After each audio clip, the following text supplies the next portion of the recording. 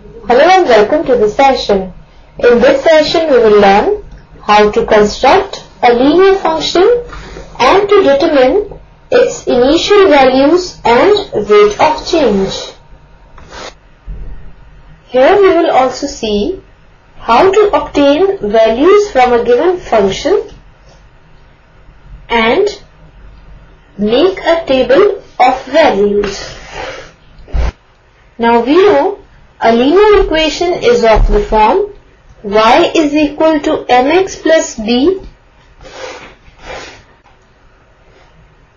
An equation is in the function form if it is solved for y. Let us see an example for this. Now 2x plus 3y is equal to 4 is not a function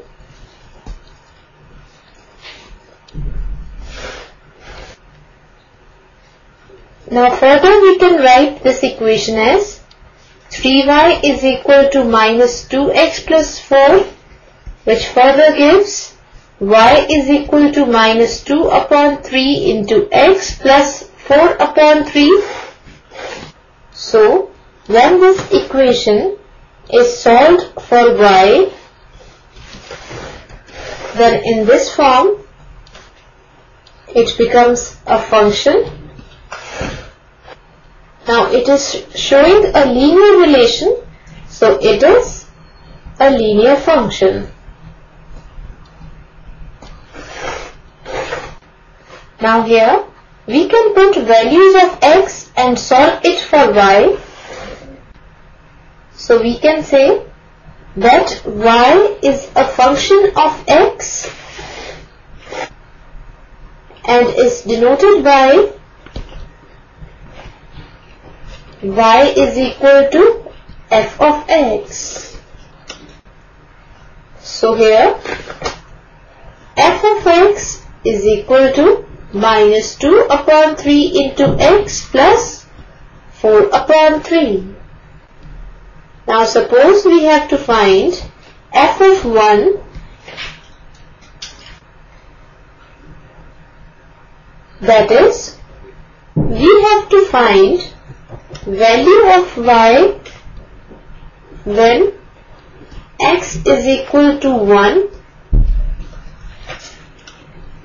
now let this be equation number 1 so putting x is equal to 1 in equation 1 we get f of x is equal to minus 2 upon 3 into 1 plus 4 upon 3 and this is equal to minus 2 upon 3 plus 4 upon 3 which is equal to minus 2 plus 4 whole upon 3 which is equal to 2 upon 3. So, for x is equal to 1, we have y is equal to 2 upon 3 or f of x is equal to 2 upon 3. Similarly, we can find other values like f of 0. Now f of 0 will be equal to minus 2 upon 3 into 0 plus 4 upon 3 which is equal to 4 upon 3.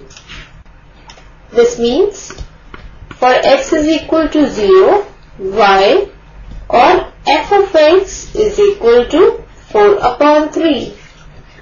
Now, for these values, let us make a table. For this linear function, we can make input-output table for the different values of x and y here input means the value of x and output means the value of y. Now for x is equal to 1, we are getting y is equal to 2 upon 3. And for x is equal to 0, we are getting y is equal to 4 upon 3. Now this table is called table of values. Now when x is equal to 1, y is equal to 2 upon 3, then we have the ordered pair as 1, 2 upon 3 and the second ordered pair is 0, 4 upon 3. Now if we have to graph a linear function, we graph it in a similar way as we have graphed linear equation. We can use slope-intercept method of graphing or we can use input-output table for graphing as here we will plot these ordered pairs on the graph to obtain the graph of this linear function. Now in a linear function of the form f of x is equal to mx plus b or y is equal to mx plus b, coefficient of x that is m represents rate of change that is slope and B represents the y-intercept. Now let us discuss how to form a linear expression. Now consider the following example. Here the table below shows the cost of renting a car the company charges $45 a day for the car as well as charging one time $25 fees for car's navigation system. Write the expression for the cost in dollars C as a function of number of days D. Now let us start with its solution. Here we have to write an expression in which cost is a function of number of days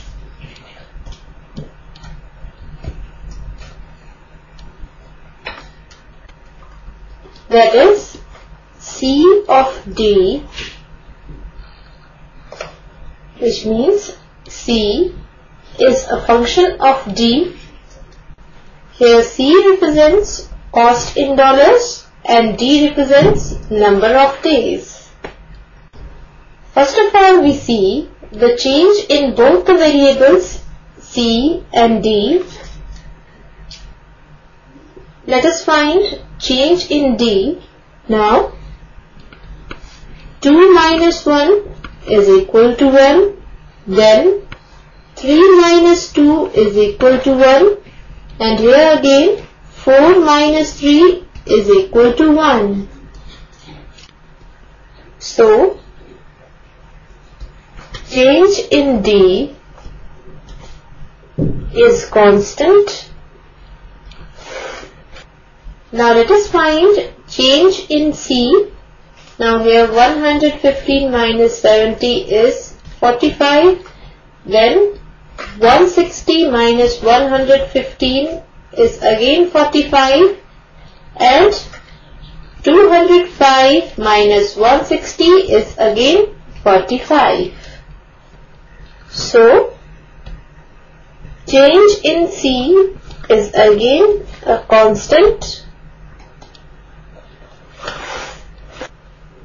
So, the relation between C and D is linear and linear function will be of the form y is equal to mx plus b.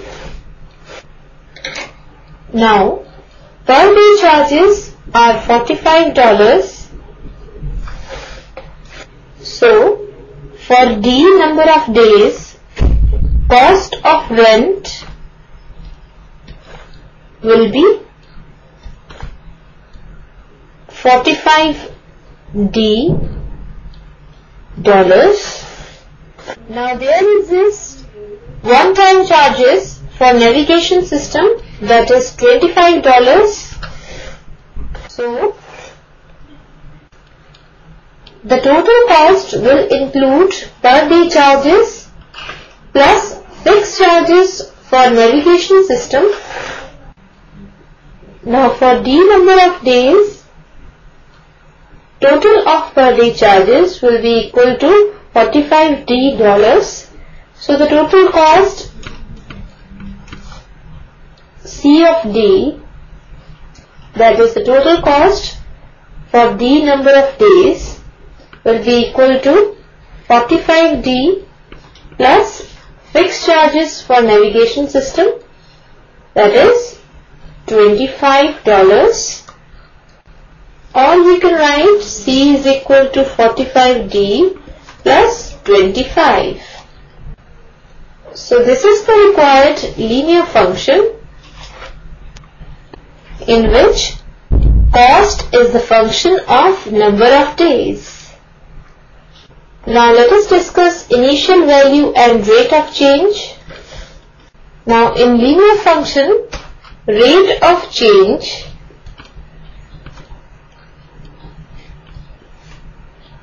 is given by